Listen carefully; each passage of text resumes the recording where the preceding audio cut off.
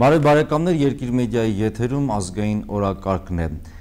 Արտահայտ խորհրդարանական ընտրությունները հունիսի 29-ին են, քարոզարշավը շարունակվում է, այսօր արդեն 4-րդ օրն է, որ քաղաքական կուսակցությունները եւ դաշինքները քարոզարշավ են իրականացնում։ Դրանով հանդերձ շարունակում է Հայաստանի Հանրապետությունը գտնվել իհարկե ծանր վիճակում, հատկապես շատ-շատ ուրեմն մեծ են անվտանգային խնդիրները, ինչևէ փորձենք այսօր հերթական անգամ խոսել խորհրդարանական ընտրություններից եւ իհարկե կուսակցությունների տեսակետներից, մոտեցումների, ծրագրերից, ինչպես են պատկերացնում այն բազմաթիվ խնդիրների լուծումը, որոնք ծառացած են Հայաստանի Հանրապետության արչեվ։ Եվ այսպես այսօր ազգային օրակարգը եթերի հնարավորություն են ձեռել ինքնիշխան Հայաստան կուսակցությանը, կուսակցություն ներկայացնում է վարչության անդամ, պատգամավորության թեկնածու Ավետիս Ավետիսյանը, ողջույն, պարոն Ավետիսյան, Ավետիսյան Ազատ հայերենիք դաշինքի վարչապետի տեխնացու Անդրեաս Ղուկասյանը նույնպես մեր տաղավարում է, ողջույն, պարոն Ղուկասյան։ Ողջույն, Արտուր եւ համայնքական ազգային պետության կուսակցության ներկայացուցիչ Լևոն Բաղդասարյանը, ողջույն պարոն Բաղդասարյան։ Շնորհակալ եմ իմ հրավերը ընդունելու համար եւ այսպես պարոն Ավետիսյան արդեն 4-րդ օրն է իրական բանը քարոզարշավը ընթանում է։ Կուզենայի գնահատեք ինչպիսին է քարոզարշավը ընթանում, ինչ թերություններ կան, գոհացնում է ձեզ, չի գոհացնում։ Շատ լավ։ Պաշտոնապես այո 4-րդ օրն է ինչ քարոզարշավն է սկսել, սակայն գործող իշխանությունը եւ որոշ ընդդիմադիրներ վաղուց արդեն սկսել են քարոզարշավը խախտելով օրենքը ընթանում է որոշակի առումով լրատվական բլոկադայի մեջ ոչ բոլոր կուսակցությունները եւ քաղաքական ուժերն են լուսաբանվում այնպես ինչպես լուսաբանվում է նույն ընդդիմությունը նախկինները եւ ներկաները այդ առումով դժգոհություն կա իսկապես մնացած առումով դեռ խնդիրներ չի առաջացել մեր հերոստանգերությունը բոլորին իդեպ տեղեկացնում է հրավիրում է այսպես ասած հաղորդումների փորձում են ներկայացնել նրանց կարծիքները ամեն դեպքում կենտրոնական ընտրական հանձնաժողովը պարոն Ղուկասյան չի արձանագրել այնպիսի խախտումներ օրինակ որ շուտ են սկսվել այսպես ասած քարոզարշավ, ինչի մասին խոսեց պարոն Ավետիսյանը։ Խնդրեմ ձեր գնահատական առասրը քարոզարշավը։ Արտուր, նախընտրական քարոզարշավը դա այն հատվածն է, երբ որ բոլորի համար ստեղծվում են հավասար պայմաններ բոլոր մասնակիցների։ Երբ որ գրանցված են նաև բոլոր մասնակիցները, ինչ գրանցումը դա դեռևս քարոզարշավ չի։ Դա քարոզարշավ է եւ այդ քարոզարշավը ուժերը սկսել էին նախապես, ովքեր որ պատրաստվում էին ընտրություններում մասնակցելու Եվ այստեղ իսկապես կա հստական հավասարության պայմաններ, որովհետև մինչև նախընտրական կարոզարշավի սկիզբը, երբ որ բոլորի համար հավասար պայմաններ են ստեղծված, իհարկե ուսաբանման գլխավոր կենտրոնում գտնվում էին մի քանի քաղաքական ուժ, որոնք որ եւ հանդիսանում են այսօրվա մեդիաների նկատմամբ հսկողություն իրականացնող իսկ գուցե նրանք նրանք գուցե առավել այսպես ասած դերակատար են դիտարկում դրա համար են նրանց շատ լուսաբանում ինչ կարծիք է ես կարծում եմ օրինակ ես չեմ տեսել Երևանում ձեր պաստառները նրանք պաստառներ ունեն տեղադրում են գուցե նաև հենց սա է որ դուք չեք ընտրել այդ ճանապարհը չեք պաստառներ փակցել եւ այլն դրա համար այդքան ցցուն չէ եւ Տեսեք, դուք շեշտեցիք պաստառները, ցանկացած կարոզարշավի մեջ պաստառները դա ամենա, այսպես ասած, пассив էլեմենտն են, որովհետև պաստառներով որևէ բովանդակություն ընտրողին չես հաղորդում, միայն այսպես ասած ավելի ճանաչել ես դարձնում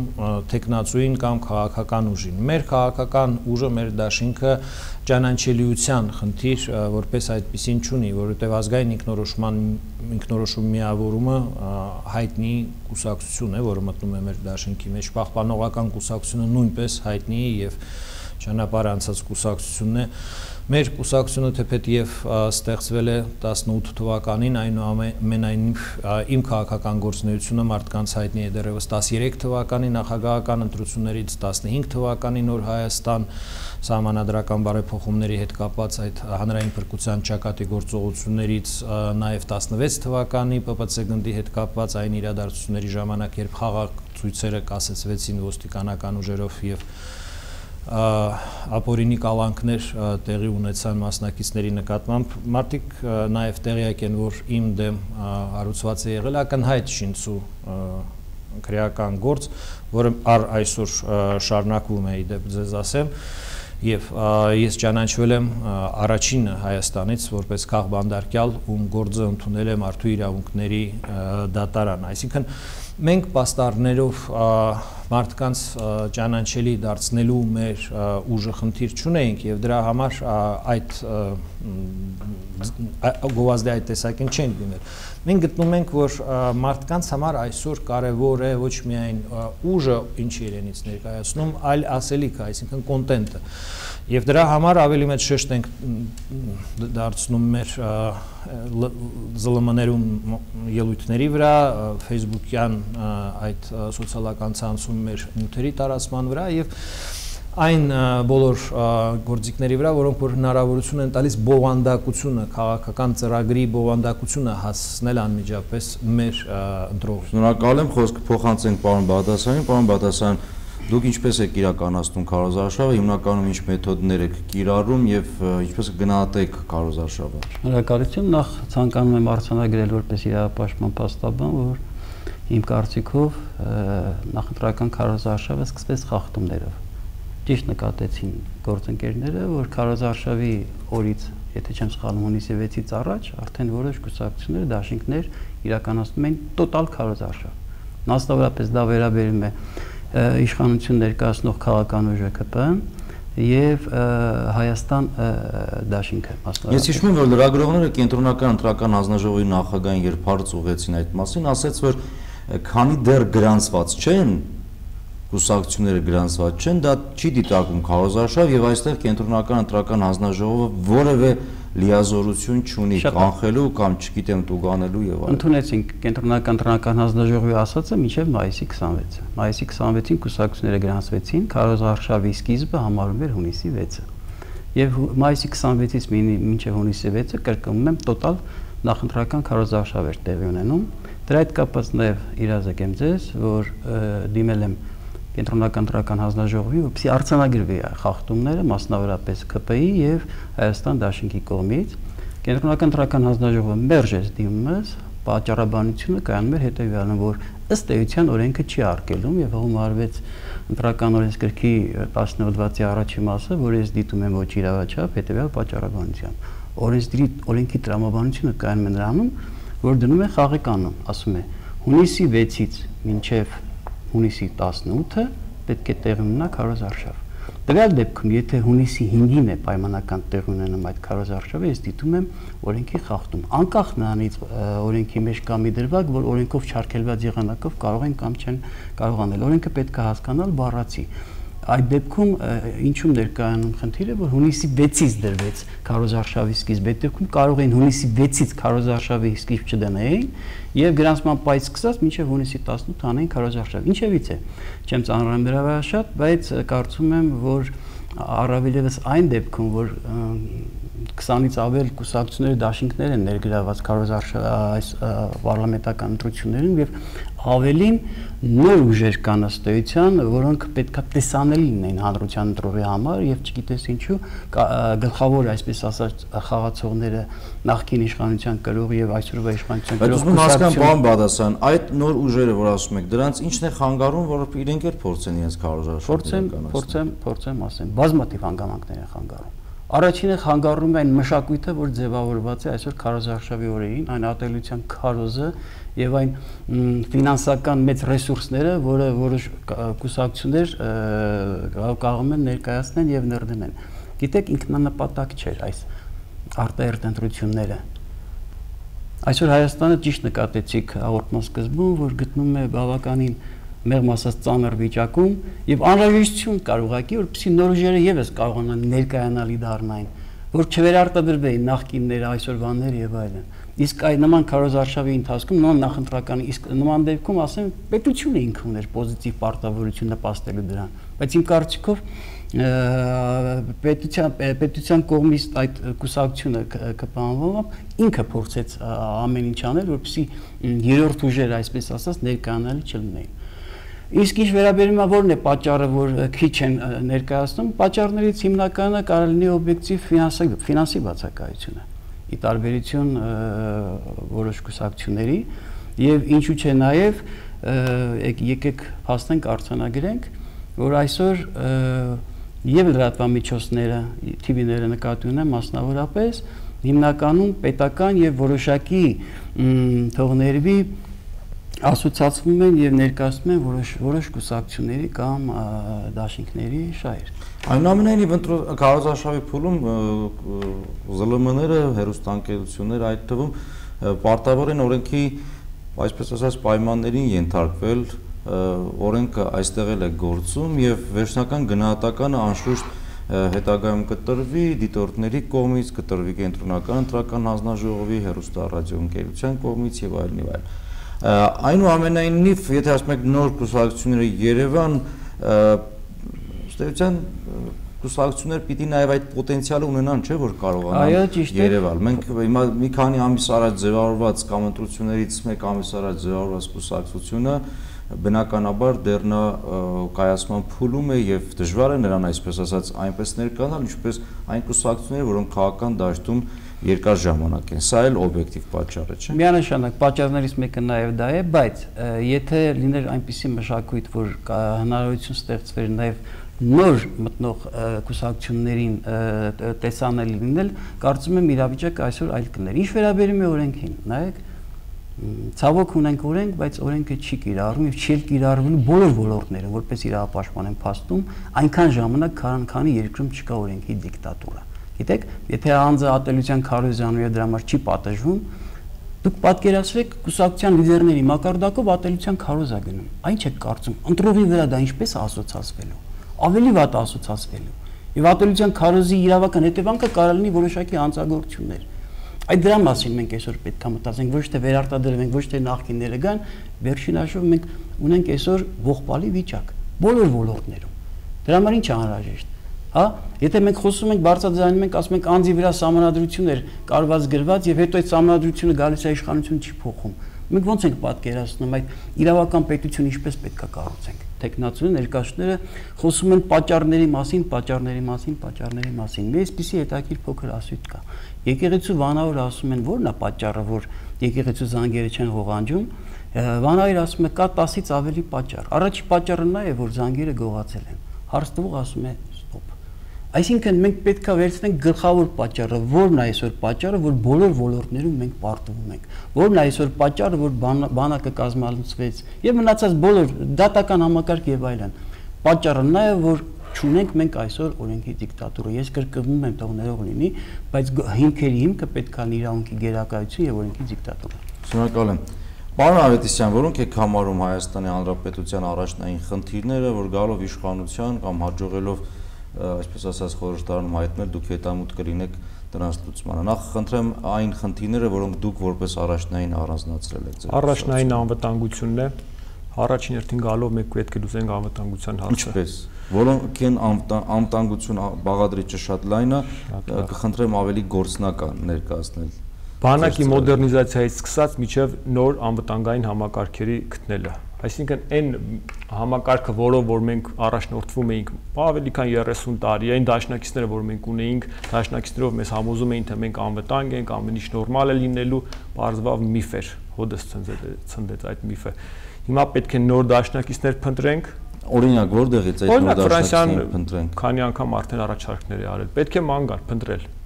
արևմուտքից հստակ մեսիջները կան։ Պետք է նայել նաև արևելք։ Ինչտեղ խանգարում Ֆրանսիային արևմուտքին պատերազմի ընթացքում լինել ավելի կոշտ, ավելի կոշտ հայտարարություններով հանդես գալ, կանխել պատերազմը, դառնալ գլխավոր միջնորդ։ Հստակ Ֆրանսիայի նախագահն ասաց, որ առաջարկներ ա եղել, մերոնք հրաժարվել են։ Դա պետքա հարցնել իշխանությունից, թե խի է հրաժարվել, ասենք ռեփ կայաններից, որի կարիքը մենք ես անձամբ եղել եմ եղնիկներում, մենք շատ ունեինք հոբ համակարգերը, որ ընդհանրապես չկան, ի՞նչն էր պատճառը, պետք է հարցնել իշխանություններին, խի եք հրաժարվում։ Եթե սուտ է ասում Ֆրանսիայի նախագահան, ասեք սուտ է ասում, չի եղել նման առաջարկ, կամ եթե եղել է, ուրեմն ասեք, պարոնեք, ինչն էր պատճառը, որ չեք ընդունել եւ հազարավոր մեր եղբայրներ ուղակի զոհվեցին, որովհետեւ չկար ռեպկայաններ հոբ համակարգեր։ Երկրորդը, որ գալու ենք իշխանության բերենք մեր հետ, դա համերաշխությունն է, հանրային համերաշխություն։ Այսօր բևեռացված է մարդկանց թե նախկին իշխանությունները, թե ներկաները դրթում են անդադ ատելությամբ են լստում դրանց սրտերը։ Գնեք ատելությունը հատկապես 2018 թվականից արդյոք չբարձրացավ, երբ որ ատելության, այսպես ասած, կոչերով, դագաղներով, չգիտեմ ինչով իշխանության եկած քաղաքական ուժերը հետագայում իդեպ ձեր կուսակցության առաջնորդն է կարծեմ Դավիթ Սանասարյանը եւ նա նույնպես այդ Դավիթը երբևիցե ատելության ոչ մի ակցիա, ոչ մի կոչ է։ Դու ասած ձեր դագաղները 2018 թվականից է սկսվել։ Դավիթի խնդրում եմ մեջ մի կոչ որտեղ որտեղ հետագայում հետագայում արդեն իշխանությունները շարունակել են նման կոչերով առաջնորդվել, քիչ առաջ պարոն Բաղդասարյանը հիշեց դատական համակարգ, գիտեք դատական համակարգի հանդեպել են կոչեր ընջել, այսինքն այդ մտնոլորտը Հայաստանում եղել է եւ բնականաբար հիմա ընտրապայքային տասում գուցե ավելի թվականից եղել է, բայց պարոն Սանասարյանի պահով չկա նման բան, վերջին շրջանում ել ավելի սրվել ատելության կոչերը ու ըստ մեզ այս ամեն ինչը տանում են երկու կողմնել նրան որպիսի ընտրությունից հետո անկախացնելից բախումների տանեն հանրությանը դեմ է եղել նրան որ գրել են որ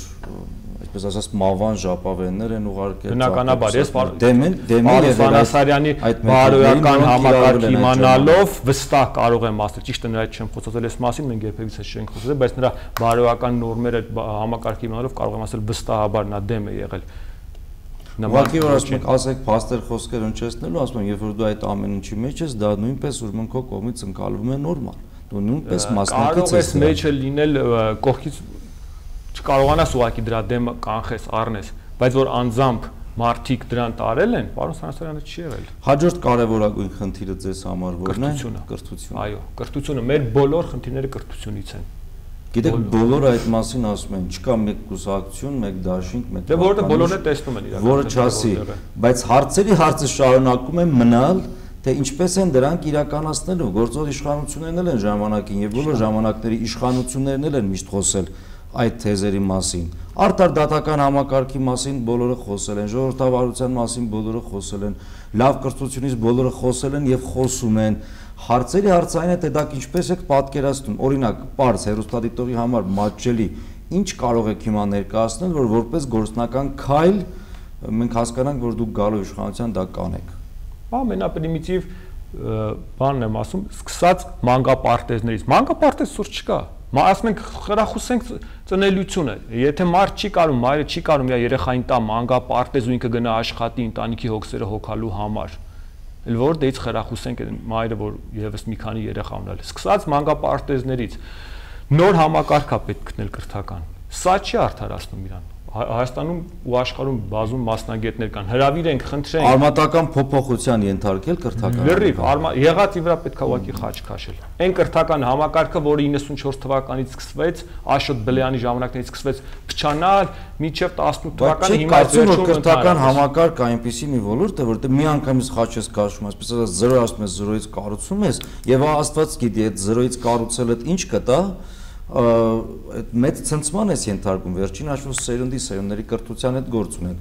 չէ որ այս այն ոլորտը չէ որտեղ անընդհատ պետք է այսպես ասած արմատական Հիմա մենք այն փուլուն հասել, հաստրել մեզ այն փուլին, եթե մի քիչ էլ հապաղենք ընկնում ենք անդունդը։ Կամ պետքա փորձենք թռիչք ապահովելով անցնենք անդունդը կամ ընկնելու ենք։ Մանր մանր քայլելով Հայաստանը այլևս ոչ միտեղ չի կարա գնա։ Մեզի մանր մանր քայլելով խափելով տարել են անդունդ։ Բոլոր առումներով առողջապահությունից սկսած միջև Իսկ եթե խոշոր քայլերով մի անգամից ընկնենք անդունդը, պետք է ամեն ինչ անենք, որ չընկնենք։ Բայց այդ ձեր ասածը ով գիտի, այսօր կրթական համակարգի հետ, այսպես ասած, խաչ քաշել, զրոյից ստեղծել, նոր ամբողջովին նորը ստեղծելը խոշոր քայլ չի դեպի անդունդը։ Գուցե հենց դա էլ է մի հատ։ Դե պետք է նաև աշխարհի փորձը վերցնել։ Մենք անդունդը, հետո մի հատ սերունդ վերկենա, ասես ով քեցես մեզ։ Դե արդեն անդունդին մոտ ենք։ Եթե մի քիչ էլ հապաղենք, ընկնելու ենք անդունդը։ Հիմա նայեք ինչ վիճակ է։ Քաղցկեղով հիվանդ մարդ է, մեռնելու է այսօր եկուցա։ Ասում են դեղ կա, սրսկենք, կմեռնի կամ կամ կփրկվի։ Որ պետքա որոշում կայացնենք։ Կամ պետքա ցածկ կատարենք, կամ կործանվելու ենք։ Հասկացա, դուք ասում եք մի անգամից կամ մեռնում ենք կամ արժանապատիվ արժանապատվության խնդիր կա մեր մոտ դրած արդեն։ Այս վերջին պատերազմից հետո հայ ժողովրդի արժանապատվության հարցը կա դրած։ Շնորհակալ եմ։ Խնդրեմ պարոն Ղուկասյան, ձեր կարծ, ձեր առաջնահերթությունները որոնք են, ինչպես եք պատրաստվում դրանք լուծել։ Այդ առաջնային խնդիրներ, իհարկե շատ-շատ խնդիրներ կան, բայց բազմիցս արդեն մենք հրաապարակային խոսել ենք դրա մասին անվտանգության ոլորտում մենք կարևոր ենք համարում մինչև տարվա վերջ կնքել Ֆրանսիայի հետ ռազմաքաղաքական համագործակցության պայմանագիր որը հնարավորություն կտա վերակազմակերպել, վերազինել եւ վերապատրաստել մեր բանակը եվրոպական չափանիշներին համապատասխան։ Սա առաջնային խնդիր է, որը որ եւ 22 թվականի մեր ներքին պետական քաղաքականության մեջ զուգորդվելու է ռազմական բյուջետի 30%-ով ավելացմամբ 311 միլիարդ դրամ է կազմել այս տարի մեր ռազմական բյուջեն, իդեպ ասեմ գիտահետազոտական եւ կոնստրուկտորական աշխատանքների համար նախատեսված էր այս տարի ընդամենը 150 միլիոն դրամ։ Դա ներողություն 76 Ֆրանսիայի հետ խոսել եք համաձայն են իրենք այս տարածաշրջանում Ֆրանսիան արդեն բոլոր ազդակները ներկայացրել է եւ մենք մանդատ ենք հայցում մեր ընտրողներից հենց այդ հնարավորությունը այդ օժանդակությունը իրականացնել, ինչպես իրականացնել, որպեսզի մեր ժողովրդի համար, մեր բանակի համար դա լինի առավել արդյունավետ, մենք ներկայացնում ենք մեր ծրագրով եւ այդ առումով արդեն ես արտահայտվել եմ նորից չկրկնվեմ։ Ինչ վերաբերվում է երկրորդ կարևոր հարցին, դա Արցախի կարգավորման վերաբերվող հարցն է, մենք հանդես են գալիս Արցախի հանրապետության ճանաչման օկտին։ Եվ սեպտեմբերին ՄԱԿ-ում դա այն ժամանակն է, երբ Հայաստանի վարչապետը պետք է ներկայացնի Արցախի անկախության հռչակման իրավական հիմքերը, որբիզի գլխավոր վեղաժողովը դիմի միջազգային դատարան եւ խնդրի խորհրդատվական եզրակացություն Արցախի կարգավիճակի վերաբերյալ։ Դա ամենակարճ ճանապարհն է ըստ մեզ Արցախի հանրապետությունը 12.500 քառակուսի կիլոմետրով Արցախի հանրապետությունը հրճակվել է Արտուր եկեք մոլորության մեջ չտնենք մեր քաղաքացիներին 91 թվականին 92 թվականին հրճակել է իր անկախությունը 91 թվականի սեպտեմբերի 2-ին Լղիմի Լեռնային Հարաբաղի ինքնավար մարզի մարզային խորհրդի падգամավորները եւ Շաումյանի շրջանի падգամավորները միավորվելով համատեղ նիստ արեցին եւ հրճակեցին Լեռնային Հարաբաղի կամ Արցախի հանրապետության ստեղծման մասին։ 92 թվականի հունվարի 6-ին նորընտիր Գերագույն խորհուրդը Արցախի հանրապետության հրճակեց անկախությունը հիմնվելով 91 թվականի բոլորին հայտնի դեկտեմբերի 10-ի հանրակրվեի արդյունքների վրա։ Այսինքն այս հարցում անորոշություն չկա։ Մեր դիրքորոշումը հետեւյալն է։ ասածս ինչ տարածքով, այսինքն այն տարածքով, որը 92 թվականին հաստատվեց Գերագույն, որով որ Արցախահայությունը հրճակել է իր հանրապետությունը, մենք որպես ելակետ ընդունում ենք հարգանքը Արցախահայության նկատմամբ եւ Արցախահայության լիազոր ներկայացուցիչների թե խորթային տարիների, որոնք որ իրավասու պետական մարմիններ, թե առաջին օրընտիր ես ընդգծեցի Գերագույն խորհուրդը, դա առաջի մարմիններ Արցախի հանրապետության, դա լեգիտիմ մարմիններ էին դեպ այդ խորհրդարանում, որը որ հրճակեց անկախությունը մեծամասնությունը կազմում էին դաշնակցության ներկայացուցիչները, որոնց լիդերը Արտուր Մկրչյանն էր երջանկայի շտակ, ում որ ըստ իս սպանեցին իր մաքուր եւ ազնիվ պահվածքի համար հետագայում ամիսներ անց Ես ուզում եմ ասել, որ մեզ համար ելակետ է հարգել առաջի հերթին Արցախի ժողովրդի Արցախահայության կամքի բոլոր դրսևորումները եւ այդ առումով Հայաստանը երբեք այդ քայլը չի արել, երբեք չի հասցրել Արցախի անկախության հրճակման իրավական հիմքերը միջազգային հարթակներ պատշաճ ձևով դա ներկայացված չի եղել ես կարող եմ այդ հարցը ուղղել եւ սեպտեմբեր ամսին Միացյալ ազգերի արչև վստահ եմ, որ պատշաճ ձևով կարող եմ ներկայացնել այդ հարցը այնպես որ մենք իսկապես վերջ-վերջու պատրենք այդ տարիներ ձգվող Արցախի հարցի շուրջ sense մի տեսակ կապանքը, որը որ կա եւ ճշմարտությունը առ այսօր մեծամասնությունը միջազգային հանրությունը չգիտի եւ դա մեր մեղքն է որ չգիտի դա մեր պահվածքի հետևանքն է Ադրբեջանը սուտ տեղեկություններ էր տարածում 20% օկուպացիայի մասին իրենց տարածքների եւ երբեք Հայաստան դրան չի արձագանքել պատշաճ, երբեք չի բացահայտել այդ զրկարտությունները։ Կարծում են տարիներ շարունակ հակադարձություններ եւ նույն ՄԱԿ-ի ամբիոնից նախագաները Չի եղել։ Ես այդ հարցը տիրապետում եմ Հայաստանում եզակի մասնագետներ կան, ով ոչ թե այսպես ասած քննարկելու մակարդակով, այլ առարկայական տիրապետում է։ Հայաստանի Հանրապետությունը ՄԱԿ-ում ունեցել է գրեթե 0 այսպես ասած գործնեություն Արցախի հարցի հետ կապված։ Ադրբեջանը միշտ ունեցել է Ադրբեջանի օկուպացված տարածքների խնդիրը օրակարգում բանաձևեր է անցկացրել, մենք ոչ մի բան չենք արել։ Սա հարկավոր է ուղել եւ սա այսօր ամենակարճ ճանապարհն է Արցախահայության իրավունքները պաշտպանելու։ Մեզ համար հասկանալի է, որ պետք է վերականգնվի Արցախի տարածքային ամբողջականությունը, այդ թվում միջանցքը Հայաստանի հետ, որը որ միջազգայինորեն ճանաչվել է որպես անհրաժեշտ բաղադրիչ եւ դրա համար կան իրավական հիմքեր, դա նույնպես հենց այնպես խոսակցություն չի եւ մադրիդյան սկզբունքների մեջ դա որպես բաղադրիչ հենց այնպես չմտավ։ Առհասարակ միջազգային հարաբերություններում հենց այնպես ոչ մի բան չի լինում, ամեն ինչը ունի իր հիմնավորումը։ Այսինքն այն դիվանագիտական պարտությունը, որը որ կրեց Նիկոլ Փաշինյանի կառավարությունը, հարկավոր է ուղղել եւ դրա ուղման ժամկետը այս տարվա սեպտեմբերն է, իսկ վայրը արդեն ասեցի։ Երրորդ ուղությունը դա տնտեսության կայուն զարգացումն է, որը որ մենք կարևորում ենք։ Այս հարցում միշտ տնտեսական հարց թեմային անցնելը խոսքը փոխանցենք նաև պարոն Բաղդասարյանին, անվտանգության հետ կապված կուզենայի պարոն Բաղդասարյան ձեր կուսակցության այն կուսակցություն, որին դուք ներկայացնում եք այս բային, մոտեցումները ներկայացնեք անվտանգային խնդիրների մասով։ Նայեք, այսօր Հայաստանում կան 100-ից ավել կուսակցություններ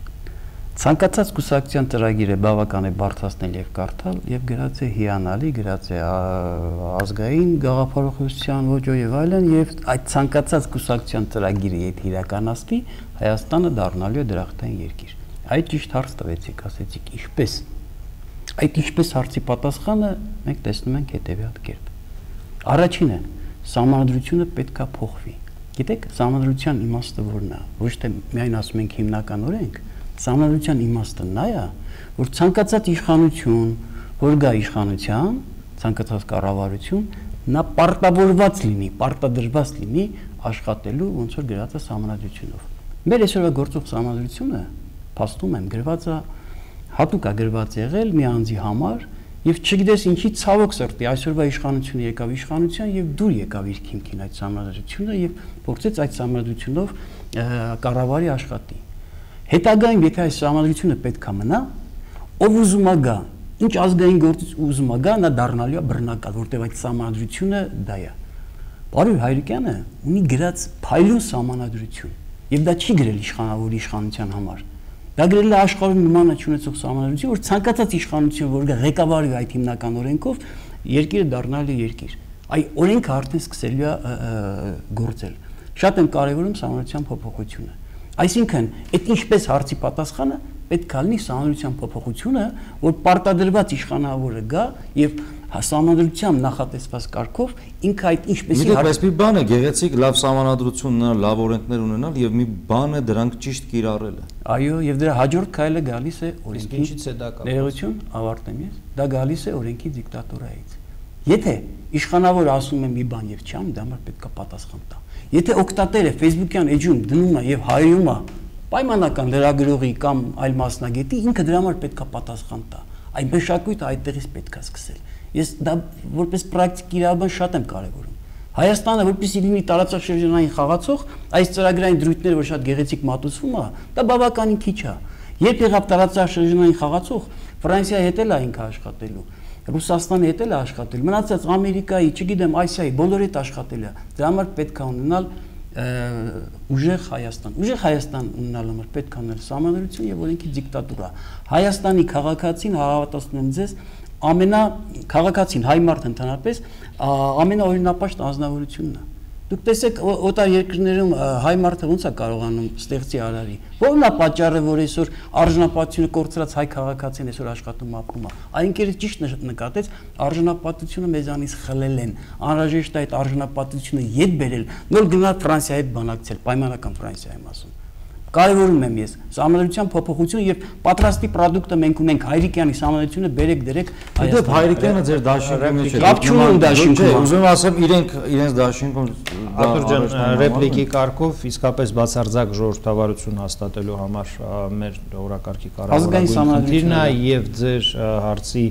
այն հարցը որ ուղեցի ձեզ պատասխանը հետեւյալն օրենքները չեն գործում երբ չկա իշխանությունների տարանջատում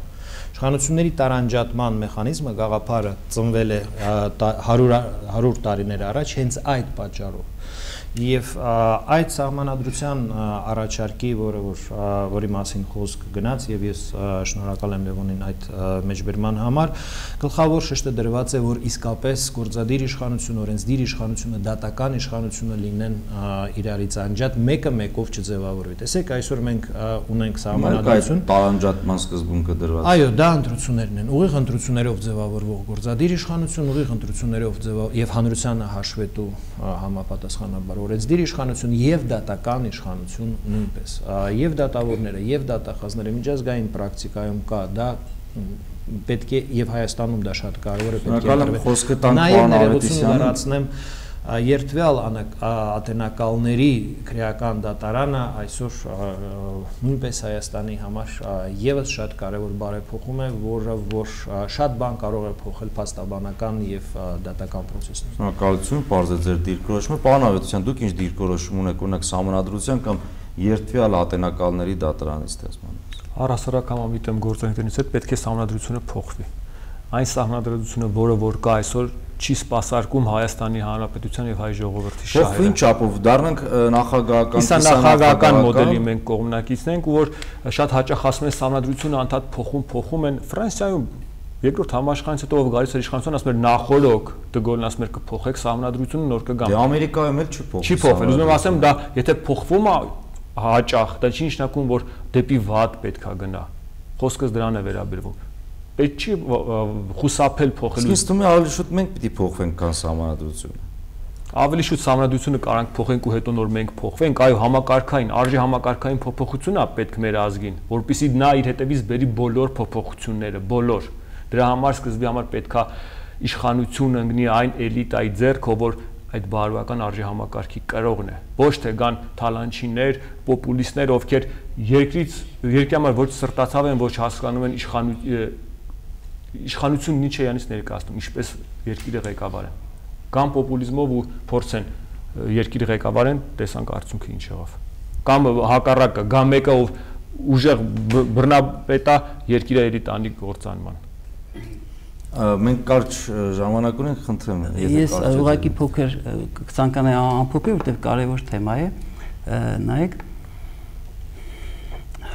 Հայաստանում մենք 30 տարի ասում ենք եկան իշխանություններ թալան չեն, եկան իշխանություններ թալան չեն։ Այդպես էլ շարունակվելու է։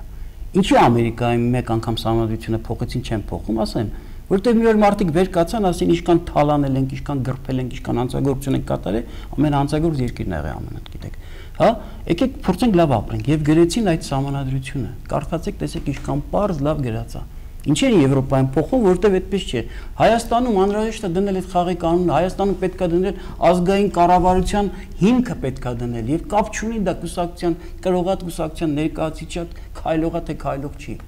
Դա պետք է լինի։ Հիմքեր հիմքը պետք է լինի համանadrությունը, օրենքի դիկտատուրա եւ ազգային կառավարությունը։ Շատ կարճ ժամանակում երկիր դառնալու է երկիր պետք չի այստեղ առանձնացնել մեր կուսակցությունը լավն է, մյուսին ավելի վատ է։ Տեսեք ովքեր եկան 90-ականներին պարոն Տեր-Պետրոսյանի թիմը եկավ մաքուր ձեռքերով։ Ոչ մեկ չի կարասի որ մաքուր ձեռքերով չէր։ 2-3 տարի հետո խնդիր է։ Նիկոլ Փաշինյանը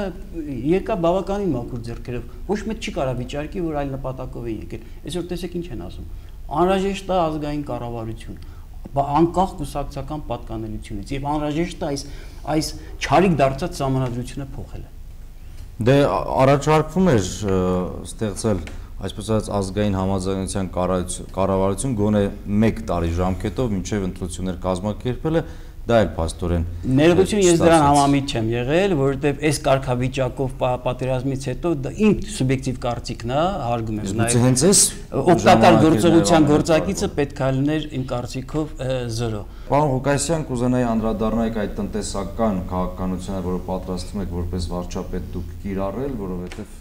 առաջնահերթություններից մեկը դա է ձեր ծրագրում եւ չհասցրեցիք նախորդ ձեր խոսքի մեջ ասել։ Մեկ նախադասությունով հաջորդ հարցը ավելեմ, մենք մեր նախընտրական խոստումն է, որ 22 թվականին Հայաստանը կունենա նոր սահմանադրություն ունենալու հնարավորություն, այսինքն մենք դիտարկում ենք այս խնդիրը հրատապ ունենք որպես հիմք նախագիծ եւ 22 թվականին գտնում ենք, որ շատ կարեւոր է, որ Հայաստանում սահմանադրական կարգը հաստատվի եւ հաստատվի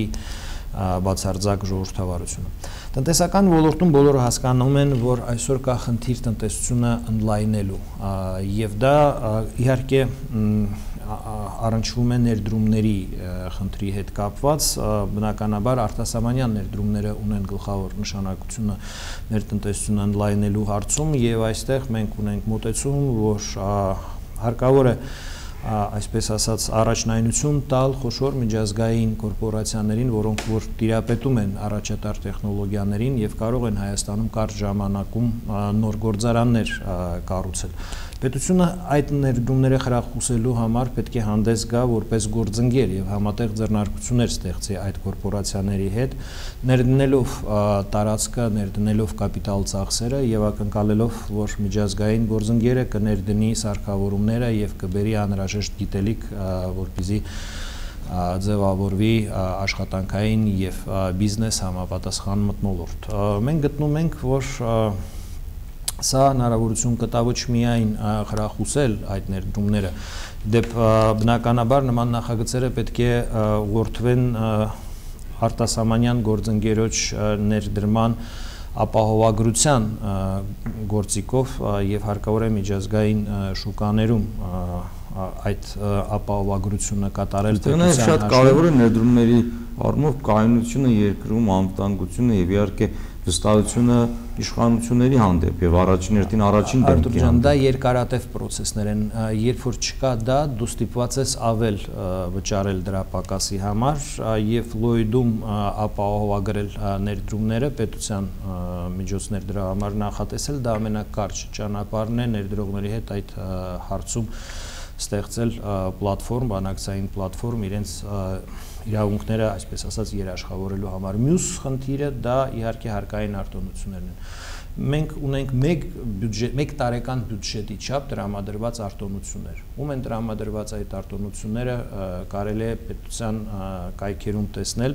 Այդ ձեռնարկությունները հիմնականում արևտրով զբաղվող ձեռնարկություններ են, որոնք որ օգտագործում են Հայաստանը որպես տրանզիտ երկիր, ինչ որ մի բան ներմուծում են, ստեղ վերաձևափոխում են եւ տանում են ԵԱՏՄ, հիմնականում դա նաեւ եւ ռուսական կողմից բացասական դիտվող գործունեություն է, բոլորը լսել են այդ Spike-ի եւ մյուսների հետ կապված սկանդալները թուրքական ուլիկները եւ մյուսը մյուսը որը որ անցել են Հայաստանով։ Մեր Դուք կարծում եք, որ նման ոլորտին պետք չի, հա, այդ արտոնություններ հարկային տրամադրել, այլ տրամադրել ներդրողների բարի ստեղծողի մեր մեր համար վերականգնել Հայաստանի արտադրությունը ամենակարևորագույն խնդիրն է եւ հարկային արտոնությունները 5 տարով հարկերից շահութահարկից ազատումը պետք է հենց այդ նախագծերին տրամադրվի, որտեղ որ իրական աշխատատեղեր են ստեղծվում, որտեղ որ իրական արդյունք կա, արտադրանք կա, որը բնականաբար առաջնային պետք է ուղղված լինի մեր շուկայի պահանջները բավարարելուն, այսինքն մի կողմից ընդլայնելով աշխատատեղեր եւ բարձրացնելով մեր հանրության վճռանակությունը մենք մեծացնում ենք ներքին շուկան, մյուս կողմով կողմից մենք ստեղծում ենք եւ այդ շուկան բավարարելու տնտեսական ռեսուրսը։ Մյուս հետաքրքիր հատկությունը, որը որ առաջանում է այս քաղաքականության դեպքում, պետությունը դառնում է բաժնետեր տնտեսության ինչ որ մի զգալի հատվածում ոչ վերահսկիչ պակետը հսկող, բայց շահույթ ստացող եւ որոշ դեպքերում երաշխավորված շահույթ ստացող այդպիսի գործիքներ գոյություն ունեն կորպորատիվ ոլորտում եւ դրա շնորհիվ պետությունը ձեռք է բերում եկամուտների նոր աղբյուր։ Դա շատ կարեւոր է Հայաստանի համար։ Մենք գտնվում ենք, այսպես ասած, աղքատության սպիրալի մեջ։ Մեզ մոտ բարձր են հարկերը, դա բերում է բիզնեսի կրճատման, բիզնեսի կրճատումը ավելի ստեղծում է խնդիր հարկերը հավաքելու, որ սոցիալական խնդիրները լուծել եւ այսպես տնտեսությունը աստիճանաբար, եթե դիտարկենք վերջի 20-25 տարիների ընթացքը, կրճատվելու միտում ունի։ Մեր մտածումը կայանում է նրանում, որ հարկային բեռը հարկավոր է նվազեցնել, դուք կհարցնեք ինչի հաշվին, այլ պետության այլ եկամուտների հաշվին։ Որոնք են այդ այլ եկամուտները։ Շահույթները, շահաբաժիները պետության համատեղ ձեռնարկություններում դա այն ալտերնատիվ եկամուտն է, որը որ աստիճանաբար ավելանալով պետությունը ներդրող է համատեղ ձեռնարկություններ ստեղծի։ եւ կիսում է եւ կիսում է շահույթը, այսպես ասած, բաժնետիրությամբ։ Այո, սրա մասին է խոսքը եւ մոտեցումը գլխավոր այստեղ որն է մեր քաղաքացիների համար հետաքրքրությունը, որ դա հնարավորություն է տալիս փոքր եւ միջին բիզնեսի համար իսկապես սահմանել ավելի առավել արտոնյալ պայմաններ։ Շնորհակալ եմ, պարոն Բաղդասարյան, տնտեսական մասով դուք ինչ եք նախատեսում։ Նախ մի հատ ախտորոշում որպես ներկայացնենք, թե ինչպիսին է իրավիճակը, ինչն եք դուք համարում հիմնական խնդիրը Հայաստանի տնտեսական քաղաքականության մեջ եւ ինչ եք առաջարկում դրանց ստուգման համար։ Շատ լավ։ Նայեք, Հայաստանում իմ կարծիքով մարդկային ռեսուրս ունի մեծ պոտենցիալ ապահովելի տնտեսական բարձր աճ եւ դառնալու տարածաշրջանի լուրջ խաղացող։ Բայց դա երբեք չի լինելու։ Ինչու չի լինելու, որովհետեւ թեպետ Հայաստանը սահմանադրությամբ սոցիալական պետություն է, բայց նա սոցիալական պետության հետ բացարձակ աղերս չունի։ Բերեմ հասարակ մեկ օրինակ։ Պետությունը մեծ գովազդով ցույց է տալիս, որ վարկավորում է սուբսիդար եւ չգիտեմ ինչ գյուղացիներին վարկ է տալիս, որպեսզի գյուղացին ծորենը ցանի, հնձի, կալսի եւ եկամուտ ստանա։ Ինչ-ինչ պատճառներով օբյեկտիվ հիմնականում, ասենք երաշտ եւ այլն, ծորենը չի աճում եւ պետությունը ինչ է ասում գումարը ասում է դու պետքա վերադարձնես հակառակ պարագայում ես քո տունը կտանեմ սոցիալական պետության եզրույթի մեջ նա է որ եթե իր քաղաքացին չի կարողանում այդ եկամուտը ստանա եւ ինքը դժում է պետությունի պոզիտիվ պարտավորություն այնքան տալու մինչև քաղաքացին եկամուտ ստանա նոր այսպես ասած չակերտներով քերթի եւ հարկը վերցնի հիմա նայեք քաղաքացին գումարը չի տալիս դատարանով մեխանիկական աշխատանք են կատում օրենքի ուժով, օրենքներ հողում անելով 10 էջանոց վճռի մեջ, նրան սարքում են օրենքով բոմժ։ Ինչ է կարծում, օրենքով բոմժը ինչ պետք է անի։ Օրենքով բոմժը կամ պետքա դառնա անցագործ, կամ պետքա գնա արդ երկիր աշխատի բերի այդ վարկերը, պարտքերը փակի, որովհետև իր վաթան, իր օջախը, իր տունն են խլում ձեռից, կամ էլ պետքա գնա ձեռքը մեկնի պետություն, ասի պետություն, խնդրում եմ ինձի դուր։ Քանի պետությունը այդ հարթության վրա այդ քաղաքականությունով չի աշխատի եւ հաշվում է իսկ ֆինանսիստը, ֆինանսների նախարարը հաշվում են, որ այսքան կտուժեն, այդ պայծ սկսած տնտեսական աճ մենք մոռանանք։ Մի ուրիշ օրինակ բերեմ։ Գայլը գալիս է գյուղացու ոչխարը տանում է։ Պետությունը ասում է իմ բյուջեով նախատեսված չի, գիտես, ասում է։ Ես կգամ քեզ օգնություն կտամ։ Ոչ, հարգելի պետություն։ Դու պարտավոր ես փոխհատուցես, դու պարտ դու անվտանգության երաշխավորն ես։ Այ խոսեցինք անվտանգությունից, նայեք այսօր կներեք էլի կոպիտ է հնչում սարի վրա չոբանն է մեր անվտանգությունը պահում որն է պատճառը լիքը պատճառներ կբերեն 100-ից ավելի պատճառներ կբերեն բայց օրինակը որ բերեցի եկեղեցու զանգը գողացել են այդ դա է այդ գողացվածը պետք է կարողանալ հետ բերել այո ծրագրերը շատ լավ ներկայացրեցին գեղեցիկ են բազմատիպ ծրագրեր արտոնություն եւ այլն դա չի լինելու չի գործելու քանի որպես սոցիալական պետություն Հայաստան իր քաղաքացուն չի արժևորելու դա իմ կարծիքն է Պարոն Ավետիսյան, մենք ունենք կար ժամանակ, որպես ամփոփում խնդրեմ խոսքը ձերն է։ Կարևորը մենք որ ուզում ենք մի շեշտում ամեր ուժը անկախ ընտրության արդյունքներից սիրելի հայրենակիցներ, ում կընտրեք, ով կընտրվի, ինչ կլինի արդյունքը, չգնաք ընտրությունից բախումների, որոշ քաղաքական ուժեր ներկաներն ու ներ, նախկինները տանելու են դրան։ Այսօրվանից կոպիտ եփվում այդ ճաշը։ Եթե եղան բախումներ, արյուն թափվավ, մեր երկրի վիճակը ել ավելի կծանանա։ Աղետալի վիճակում կհայտնվենք։ Սրանք երկիրը տանում են այդ ուղով, որպեսի վերջնականապես քար դնեն պետականության վրա։ Խնդրում եմ ձեզ զերծ մնալ նման քայլերից։ Սա է։ Խնդրում եմ։ Անուն ազատ հայրենիքի 5 քաղաքական ուժերը միավորել են ջանքերը, որպիսի առաջարկեն մեր հանրությանը լավ հնարավորություն ունենալ ընտրության ժամանակ եւ մեր Ղարքախոսն է ազնվություն, իմաստություն կամք։ Այսինքն այն ամենը ինչ պակաս է եղել մեր պետական կառավարման այս բոլոր տարիների մեջ, այս բոլոր տարիների ընթացքում մենք գտնում ենք, որ այսօր իսկապես շատ վճռական պահ է Հայաստանի համար եւ մենք պիտի քվեարկենք առայն Հայաստանը շարունակի մնա Ռուսաստանից կախվածության մեջ գտնվող կախվածության մեջ գտնվող երկիր, թե իսկապես վարի անկախ արտաքին քաղաքականություն հիմնվելով իր ինքնիշխանության վրա Ռուսաստանը Հայաստանը իսկապես պիտի դուրս գա կայուն տնտեսական զարգացման ուղու վրա, թե տնտեսությունը պետք է շարունակի։ Ռուսաստանը ասենք դուրս գա Արցախից։ Մենք գիտենք ինչ ասենք եւ դրա համար մեր ընտրողներից էլ մանդատ ենք ուզում, որպիսի եւ Ռուսաստանին բերենք իր տեղը դնենք եւ Հայաստանի շահերը բարձրացնենք այն մակարդակի վրա, որը որ, որի անհրաժեշտությունը այսօր կա հարկավոր է անել այն, ինչը որ համապատասխանում է մեր ժողովրդի շահերին։ Իսկ այն անվտանգային համակարգը, որը որ այսօր կա, մեր ժողովրդի շահերին չի համապատասխանում, դա ակնհայտ է բոլորին։ Եվ նրանց, ովքեր որ իրենց կյանքի գնով պաշտպանում էին Արցախը 44 օրյա պատերազմում եւ այդպես էլ չստացան այն անհրաժեշտ օժանդակությունը, որը որ այդ դաշնակիցը պիտի մեզ ներկայացներ եւ նրանք ովքեր որ այսօր հետընտրական process-ում տեսնում են, որ մեզ պարտադրում են բազմատիվ երակողմ ինչ որ ձևաչափեր, որոնք որ վատ տարածնում են Արցախի։ Իշխանությունները պաշտպանության նախարարը նախքին որ հրաժարական տվեց պատերազմի օրերին պաշտպանության նախարարներ գլխավոր շտաբի պետը հայտարարել են բազմիցս որ Ռուսաստանից ստացել են այն ինչ անհրաժեշտ է եղել ԱԱՑ պետը նախքին բոլորը փաստել են դա որ պատերազմի ժամանակ Ռուսաստանը որքանով կարողացել է օգնել եւ գոհունակությամբ են խոսել հիմա դուք ասում եք մենք չստացանք ոչինչ ինչ նկատի ունենք ես նայում եմ արդյունքով մենք պարտվեցինք այն մեր փոխարեն կրվեին ռուս զինվորները մենք պարտվեցինք եւ դա նշանակում է որ բավարար չէր մեր քաղաքականությունը այդ ոլորտում բավարար չէր այդ թվում եւ մեր ռազմատեխնիկական համագործակցությունը մեր դաշնակիցի հետ Դա ակնհայտ է իմ կարծիքով։ Եթե լիներ բավարար, մենք հիմա հաղթանակի մասին կխոսայինք, ոչ թե պարտության մասին։ Իսկ ինչ ասում են գեներալները, ինչ որ ասում են բան, դա ընդունենք եւս իրենց